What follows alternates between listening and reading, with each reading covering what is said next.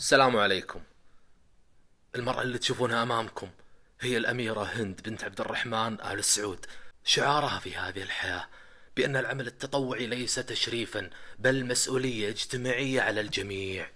من طفولتها تربت على مساعدة الغير واستمرت في درب الخير حتى لقبت برائدة العمل التطوعي. بسبب جهودها في دعم المبادرات الإنسانية محليا ودوليا.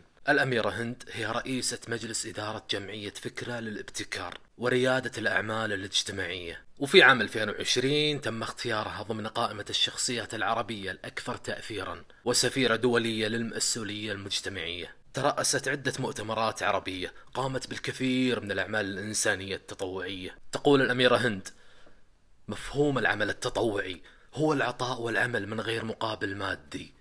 نحن لا ننتظر شهادات وأوسمة من أحد. نحن عملنا في الميدان فقط وننتظر من الله القبول.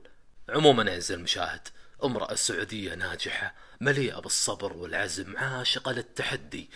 أتمنى لها التوفيق. فمان